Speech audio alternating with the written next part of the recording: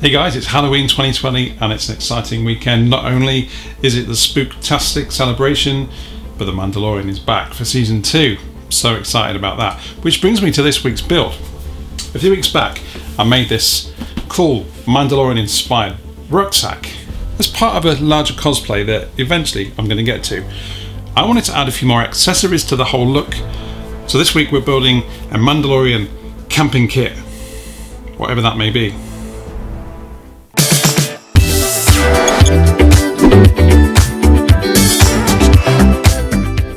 This prop started because I just love these bulbs. These imitation Edison lamps. This is actually just LEDs with an engraved detail inside there that when lit up kind of imitates that beautiful old feel of those old lamps. And it's Halloween 2020 this weekend, and of course, more importantly for Star Wars fans, Mando is back. And I wanted to continue in the theme of the Mandalorian cosplay accessories. So this week, we're making a Mandalorian camp light. Or is it a stove? Or is it some kind of futuristic communications array?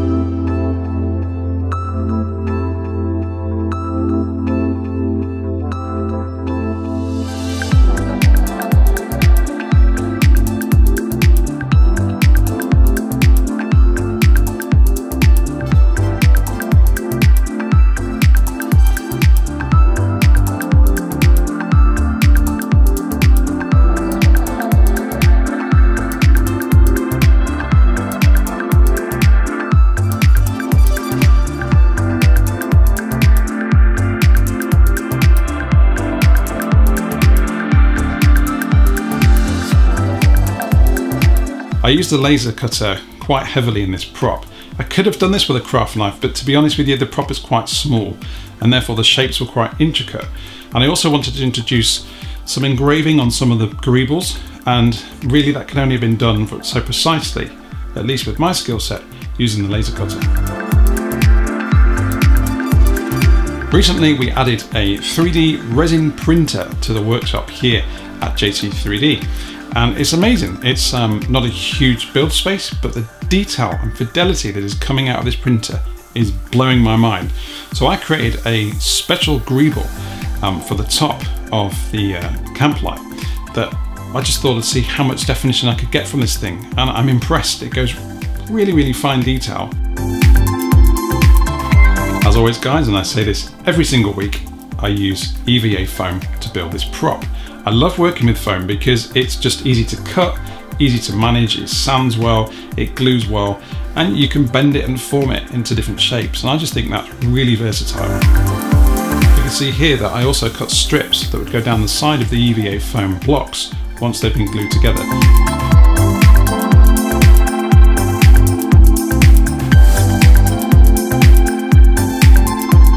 Some leftover fabric from the cosplay bag build a few weeks ago.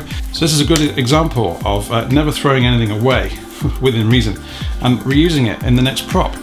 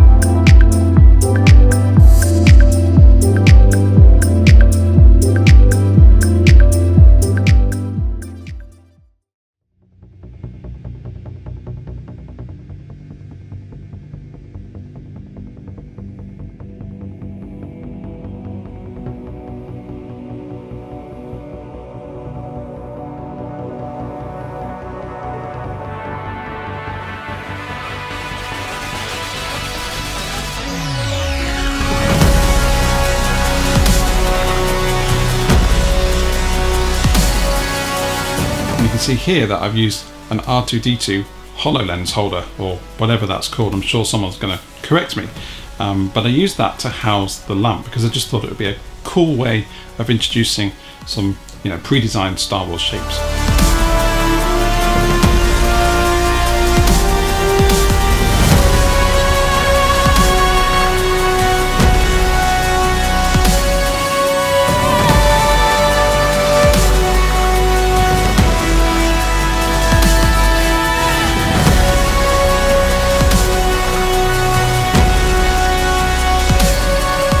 I also purchased a pre-made and pre-wired circuit for the bulb, including an in-wire switch. I am by no means an electronics expert, guys, so please, if you are building something like this, make sure you take all the necessary steps to make sure that you do it safely.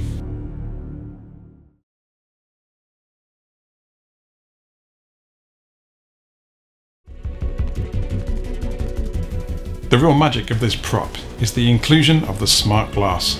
This is a powered electronic film that allows you to turn on and off visibility, and I thought it would be awesome to use it as a diffuser on this Mandalorian camp light.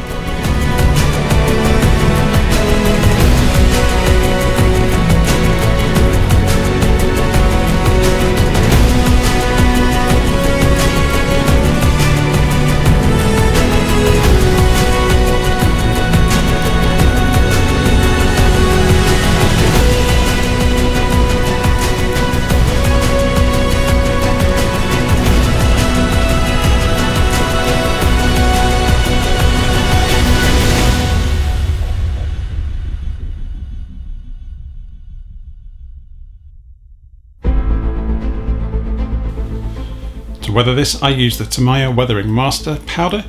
I just literally rubbed it straight onto the EVA foam with my finger. This gives a really cool metal finish.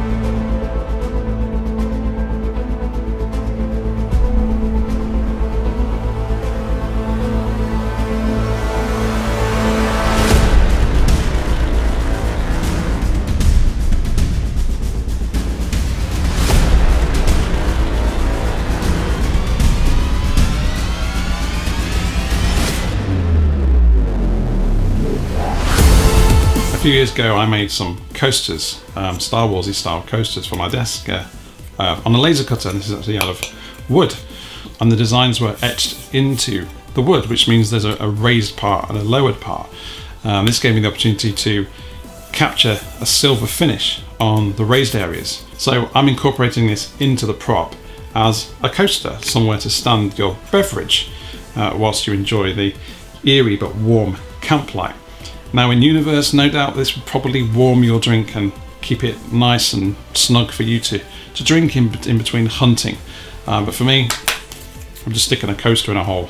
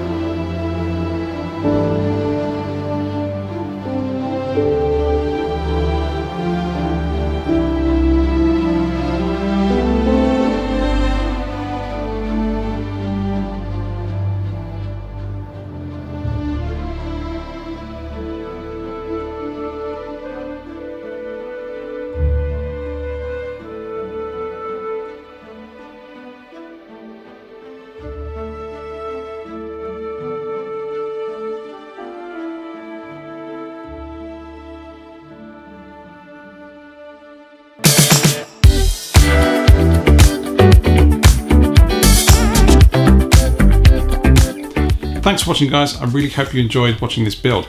Next week I'm going to be releasing the very first part of my Millennium Falcon bench build. I'm dead excited about this, it's a bit of a crazy idea. It's made completely, yes completely, out of EVA foam. And I've been asked a hundred times, but how are you going to sit on it? I'm going to show you how. Not how to sit on it, but how I made it out of foam in the next episode. I just love these bulbs. I think they're amazing and I'm so glad I managed to incorporate one into my build.